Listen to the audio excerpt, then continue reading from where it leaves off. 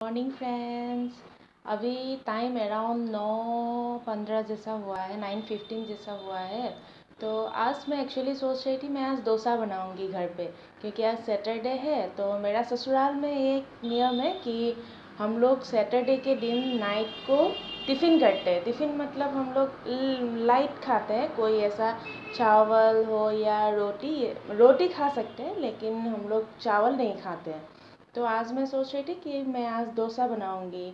डोसा बोलते हैं, मेरा ससुराल में तो ये अटलू बोलते हैं। तो आज सोच रही थी मैं वो बनाऊँगी। तो सोचा क्यों ना आप लोग के साथ भी मैं आज शेयर करूँ स्टेप बाय स्टेप शेयर करूँगी। और मैं मतलब कैसे भिगाऊँगी, क्या करूँगी, सब कुछ शेयर करूँगी। तो इसलिए आज मेरे ये ब्लॉग में आप लोग बने रहिए। ये मेरा फ़र्स्ट ब्लॉग है। थैंक यू अभी आगे देखते जाइए, मैं अभी जाऊँगी मार्केट थोड़ा बहुत मार्केटिंग करूँगी, उसके बाद मुझे सैनिटाइज़र ये सब भी थोड़ा बहुत ख़रीदना है। तो आइए, देखते रहिए, मेरे साथ बने रहिए।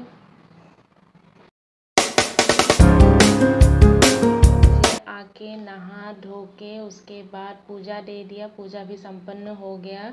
अभी मैं डोसा बैटर के लिए क्या क्या लूँगी, वो सब आप लोगों को दिखाऊँगी, क्योंकि हम लोग को वो भिगोना पड़ेगा। अभी से अगर हम लोग भिगाएँगे तो around five to six hours हम लोग को वो भिगा के रखना पड़ेगा।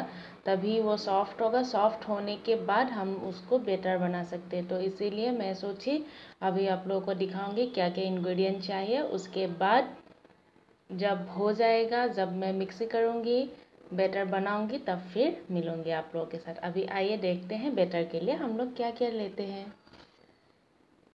ये देखते हैं। मैंने यहाँ पे लिया है राइस राइस ये देखिए, ऐसा मेज़रमेंट में लेना है। राइस अगर हम तीन कप ले रहे हैं तो उड़द दाल लेंगे एक कप मतलब ऐसा एक मेज़रमेंट होना चाहिए। अगर आप छः कप राइस ले रहे हैं तो ये लीजिए दो कप ऐसा करके अगर इसमें आप लेंगे करीब फोर एंड हाफ़ कप की तरह लेने से इसके इस पे लीजिए वन एंड हाफ़ कप ऐसा करके एक मेज़रमेंट रखिए।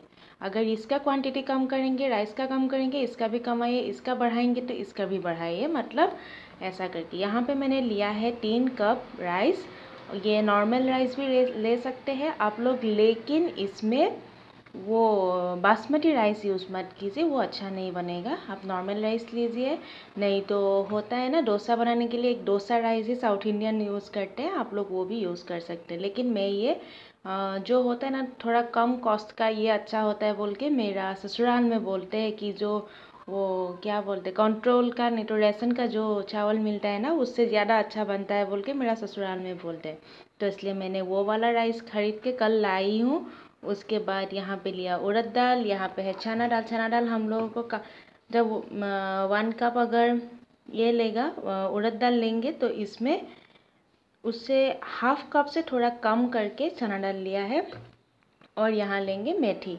मेथी, ये मेथी सीड बस इतना ही लेना और आप लोग के पास अगर सिरा है, सिरवा मतलब सिरवा बोलते हैं, असम में सिरा बोलते हैं, नहीं तो पोहा बोलते हैं, वो होने से वो भी ऐड कर सकते हैं।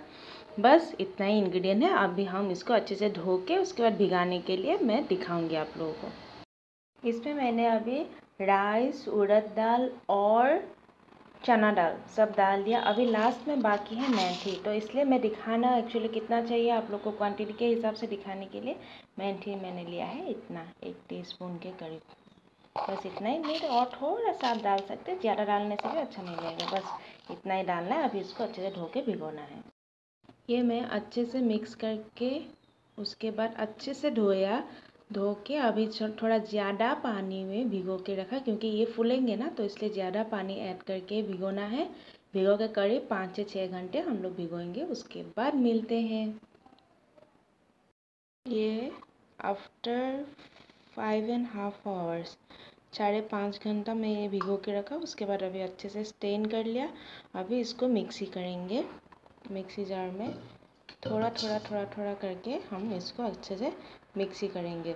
उसके बाद क्या करेंगे? जब हम मिक्सी करेंगे, इसमें हम लोग ठंडा पानी यूज़ करेंगे, क्योंकि हम जितना हो सके उतना ठंडा पानी, एकदम चिल पानी भी नहीं चाहिए, लेकिन जितना हो सके उतना ठंडा पानी यूज़ कीजिए, क्योंकि ये नहीं तो मिक्सी जार गर्म हो जाता है ना, इसलिए आप ठंडा पानी यूज़ कीजिए, कम कम करके ऐड करते रहिए। ये हमारा बैटर बन के हो गया रेडी ऐसा कंसिस्टेंसी में रखना है, ज़्यादा पतला नहीं, ज़्यादा गाढ़ा नहीं।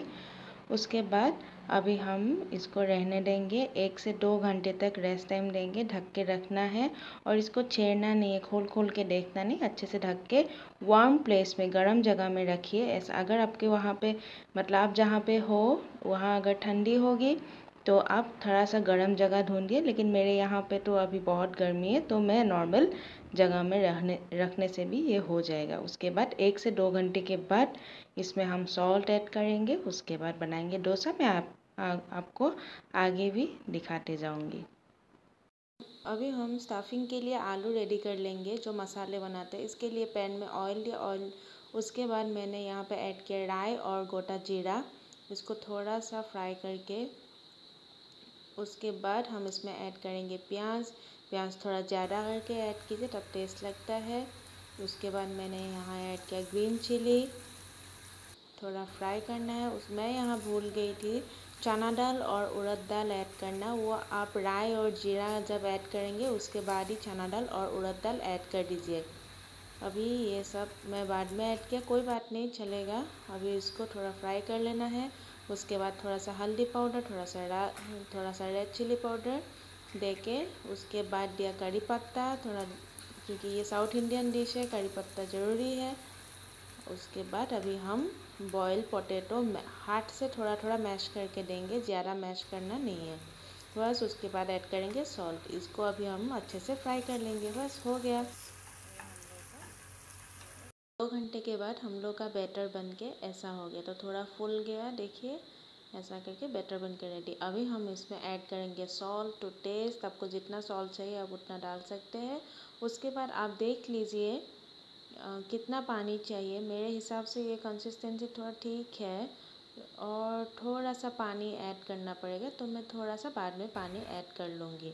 अभी एक पैन चढ़ाया जो डोसा बनाने के लिए लिया है, उसमें थोड़ा सा ऐसा पानी छिड़कना है, क्योंकि क्या होता है ना, अगर पैन ज़्यादा गर्म होगा तब भी फटेगा, ज़्यादा मतलब एकदम ठंडा रहेगा तब भी फटेगा। ऐसा पैन का होना चाहिए कि ये पूरा मतलब मीडियम साइज़ में गर्म रहना चाहिए। ओवर होने से भी प्रॉब्लम ये होने से प्रॉब्लम अभी देखिए, मैं बैटर डाल दिया, बैटर को ऐसा करके घुमाना है। आपको जितना पतला करना है, आप उतना पतला कीजिए। मेरा हो गया पैन छोटा तो इसीलिए मतलब मेरा छोटा बना है। अगर बड़ा पैन होगा तो बड़ा बनेगा। अभी गैस का फ्लेम कर देना है। हाई हम मीडियम फ्लेम में इसको डालेंगे। ओवर ज़्यादा होने से प्रॉब्लम हो जाता है। उसके बाद इसके ऊपर थोड़ा थोड़ा ऑयल छिड़केंगे। ऑयल मतलब आप कोई भी वेजिटेबल खाने का ऑयल कुछ भी ऐड कर सकते हैं, लेकिन मस्टर्ड ऑयल यूज़ मत कीजिए।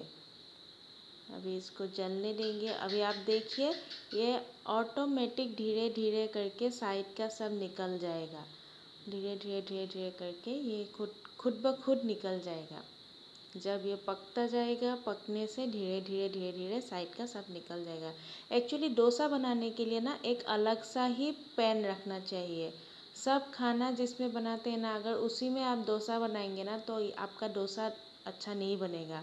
तो मैंने ये पैन ना सिर्फ़ डोसे के लिए ही रखा है। ये देखिए, ऑटोमेटिक निकल गया। देखिए, कितना आसान से कुछ भी ऑयल ऐड नहीं किया था। सिर्फ़ बीच में ही थोड़ा सा ऑयल दिया था। ये हो गया हम लोग का डोसा बन के रेडी आप इसको सांभर, चटनी और आलू डाल के अच्छे से खाइए दिखाएँगे दिखाएँगे मैं।